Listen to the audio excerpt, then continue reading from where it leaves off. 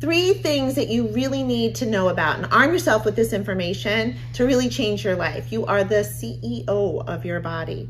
So stem cells, uh, platelet-rich plasma, and hormone replacement therapy. These are things that you can really, really change the way you feel, look, your energy, everything about longevity.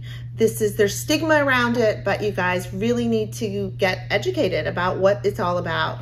Stem cells and hormones and platelet-rich plasma are changing lives. I've been feeling like a shark in a shrimp tank.